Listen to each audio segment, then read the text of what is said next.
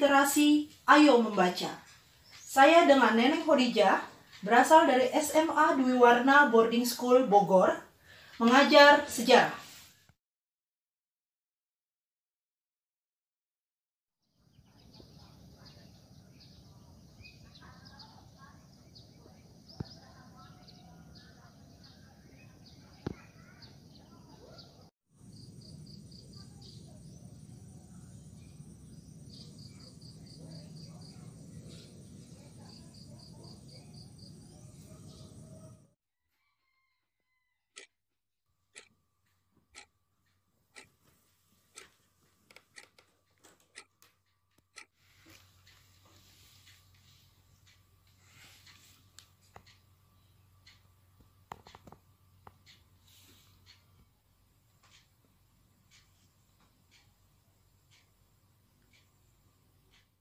Assalamualaikum warahmatullahi wabarakatuh. Apa kabar kalian semua? Hari ini kita akan melakukan pembelajaran jarak jauh untuk bidang studi sejarah peminatan kelas 10 IPS. Sebelumnya, mari kita mulai dengan membaca doa dan dipimpin oleh ketua kelas. Ya, sebelum memulai kita akan ber, kita akan berdoa terlebih dahulu Bismillahirrahmanirrahim. Raditu billahi rabba wa bil islami dina wa bi Muhammadin nabiyya wa rasula. Rabbi zidna ilma warzuqna fahma wa alhiqna bis salihin. Bi rahmatika ya arhamar rahimin. Alhamdulillahirabbil alamin. Terima kasih Valentino. Teman-teman, kelihatannya kalian semuanya ceria. Cuman saya melihat ada salah satu di antara teman kalian yang bikin Bu Neneng kepikiran adalah melamun saja. Silahkan, Karin, kenapa? Nggak enak badan, nak? Atau saya pernah mengucapkan suatu kata yang bikin kamu tersinggung atau apa? Silakan. Bu, jadi gini. Assalamualaikum kak, boleh masuk nggak? Ya masuk cak. Kenapa? Kak, tadi malam aku mimpi kejatuhan cicak. Cak, kenapa kalau kejatuhan cicak? Kata nenek kalau mimpi kejatuhan cicak kan berarti sial. Yalah, zaman sekarang masih aja percaya sama mitos. Gak mungkin lah itu mitos, kan nenek udah hidup lebih lama daripada kita. Ini cuma mitos, Cak. Kalau misalnya terjadi di nenek, belum tentu terjadi semua orang. Udahlah, daripada berantem, mendingan langsung kutanya ke guru sejarah aku. Nah, sekarang Bu Neneng, sebelum melanjutkan apa yang Karin tanyakan kepada Bu Neneng, kita ada baiknya mengulas pelajaran kita yang kemarin dulu. Boleh ya? Oke. Ada inspiratif, Ya, ada rekreatif, edukatif, sama instruksi. iya. Empat manfaat belajar sejarah menurut Prof. Nugroho Noto Susanto. Oke, baik. Selanjutnya, kompetensi dasarnya dalam pembelajaran sejarah kali ini bukan tentang ilmu sejarah lagi, tapi menyajikan hasil telaah tentang peristiwa sebagai karya sejarah. Tugasnya Bu Neneng sebagai guru sejarah di SMA Dwi Warna adalah untuk meluruskan. Yuk, apakah benar mimpi bunga tidur itu bisa disebut mitos? Gambar pertama, ini kira-kira gambar tentang apa? Nyi Roro Kidul bukan Pantai Ratu Selatan. Betul, Nyi Roro Kidul bukan Bu Neneng. Ya, apakah termasuk mitos? Kemudian gambar kedua, di sini ada tulisan Ramayana. Oh, berarti ini betulkah mitos? Ataukah pernah terjadi? Ada Rama, ada Dewi Sinta, ada Hanuman. Secara literasi, kalian ada yang pernah baca tentang unsur mitos atau apa pengertian mitos?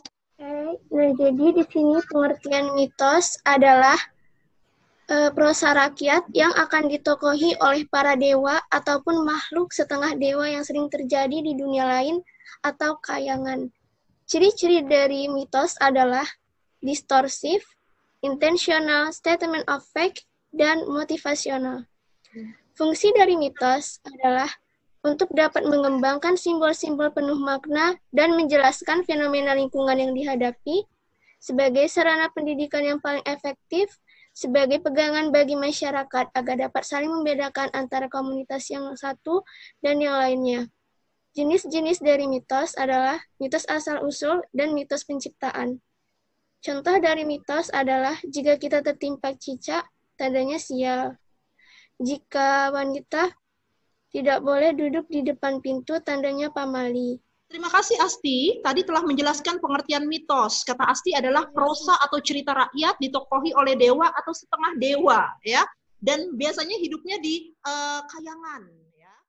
Nah, sekarang saya pengen siapa yang mau menjelaskan tentang ciri-ciri dari mitos tersendiri? Apa itu? Saya Bu, saya Bu. Ya, silakan Za, saya tangkap. Nih, kalau dis distortif itu merupakan mitos yang sering mengalami perubahan bentuk dari yang aslinya sehingga mendapatkan hasil yang baru, tetapi tidak meninggalkan bentuk dasarnya. Ya. Terus yang kedua itu intensional. In, mitos dibuat untuk dikonstruksikan pada masyarakat dengan maksud tertentu.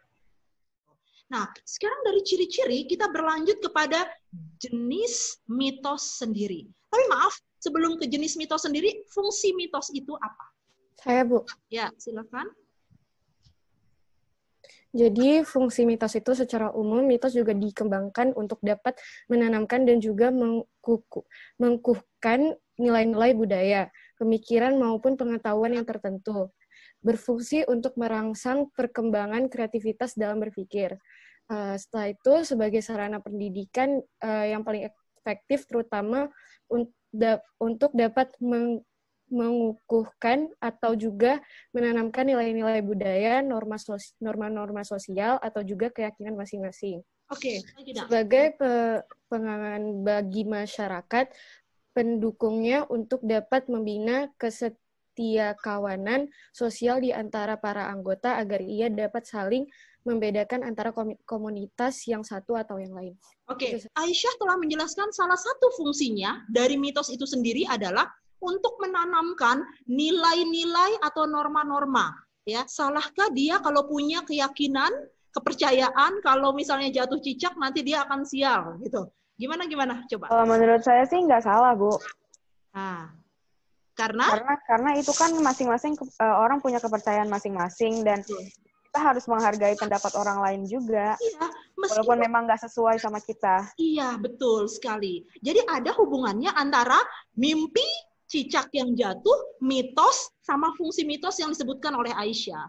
Oke, kita lanjut ke jenis-jenis mitos. Ada yang mau memberikan penjelasan jenis mitos ini ada berapa ya? Kalau secara garis besar, mitos itu terbagi atas dua kategori. Yang pertama itu ada mitos dari Indonesia dan mitos dari luar negeri. Kalau mitos dari luar negeri itu biasanya mereka sudah diadaptasi dari kisah-kisah seperti Mahabharata dan Ramayana. Sedangkan kalau mitos-mitos Indonesia itu tuh biasanya tuh kayak tentang bencana alam, uh, manusia pertama di bumi, dewa-dewa, terus sama tokoh pembawa kayak apa namanya kebudayaan. Yeah. Nah, yang kalau misalnya udah terkenal banget nih di Indonesia tuh mitos-mitos seperti Nyi Roro Kidul atau Ratu Pantai Selatan. Hmm. Terus apa namanya Jakatarub dan Awang Wulan, Dewi Sri, Batu Gunung dan masih banyak lagi contoh-contoh lainnya. Iya. Terima kasih Angel. Terakhir, apa atau berikanlah contoh-contoh mitos yang Anda ketahui. Silakan. Saya ya, Bu. Ya, silakan, Dakara. Ya, contohnya pakai payung, nggak boleh di rumah. Cewek nggak boleh, perempuan nggak boleh duduk di depan pintu kalau malam-malam. Iya. Itu juga. Oke, ya, betul sekali. Terima kasih, Dakara. Baik, saya akan menjawab pertanyaan yang ditanyakan oleh Karin masalah mitos, mimpi, dan sejarah. Ini adalah langkah-langkah penelitian sejarah. ya. Langkah-langkah penelitian sejarah yang pertama, tentukanlah topik. Yang kedua, heuristik.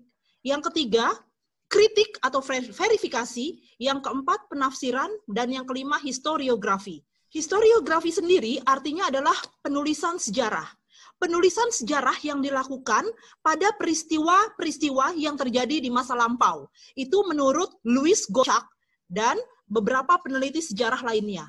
Kita berbicara mengenai historiografi, maka historiografi dibagi menjadi tiga. Yang pertama, historiografi tradisional. Yang kedua, historiografi kolonial. Yang ketiga, historiografi nasional. Sehubungan dengan pertanyaan yang dikaitkan oleh pertanyaan Karin dan adiknya mengenai mimpinya, maka kita akan membahas hanya historiografi tradisional. Ciri-ciri historiografi tradisional yang pertama istana sentris. Maksudnya hanya memperbincangkan, hanya membahas masalah keluarga-keluarga di lingkungan istana saja. Regiosentris hanya membahas mengenai lingkup keluarga istana dan masih mempercayai adanya roh-roh halus. Feodalis aristokrasi maksudnya adalah tidak memandang kesejahteraan dan keadilan masyarakat, tetapi yang diurus adalah keadilan dan kesejahteraan lingkungan yang ada di istana. Subjektivitas tinggi, tidak ada yang namanya keadilan, ya. Semuanya dinilai secara subjektif. Mengandung anakronis maksudnya tidak ada kesesuaian antara peristiwa yang terjadi dan time atau waktu yang terjadi. Oke. Dalam historiografi tradisional sekali lagi yang dibahas adalah masalah keraton dan masalah kerajaan. Sumber historiografi tradisional dibagi menjadi dua, masa Hindu-Buddha dan masa Islam. Kebetulan yang berhubungan dengan mitos adalah masa Islam. Jadi saya tidak membahas masalah Hindu dan Buddha. Contoh masa Islam kita temukan dalam karyanya yang bernama Hikayat.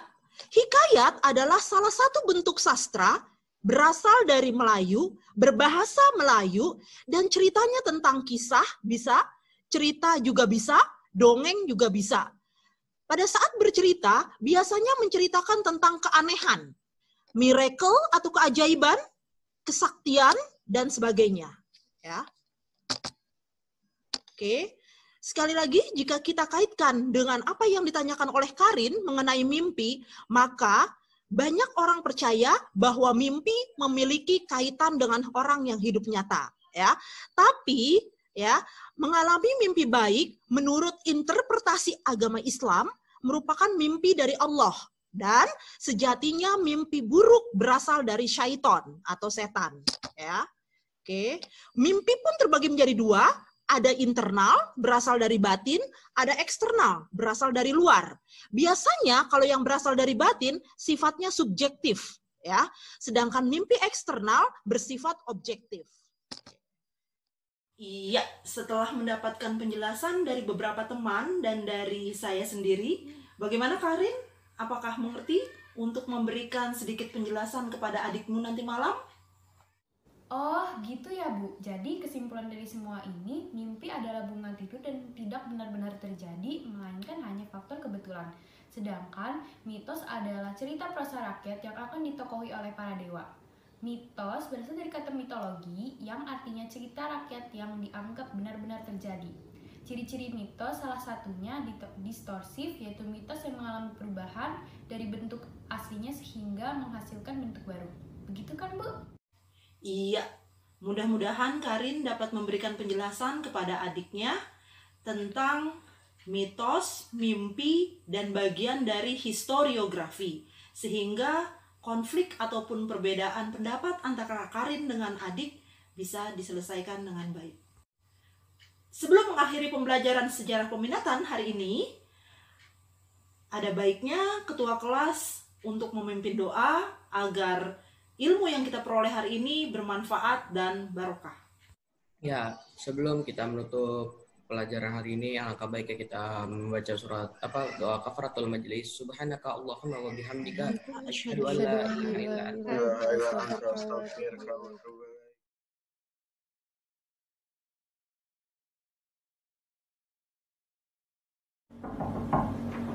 Cak, kamu lagi sibuk nggak? Kenapa kak mau ngejelasin yang tadi ya? Iya nih Cak, aku udah tahu jawabannya dari guru aku. Apa kak jawabannya? Mimpi itu tuh cuma bunga tidur, Cak.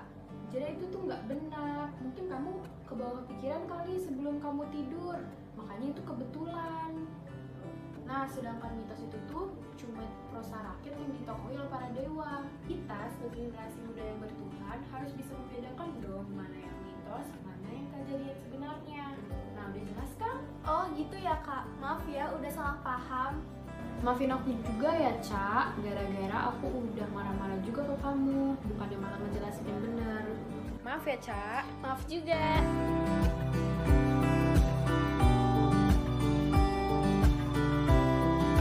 Salam literasi. Ayo membaca. Wassalamualaikum warahmatullahi wabarakatuh.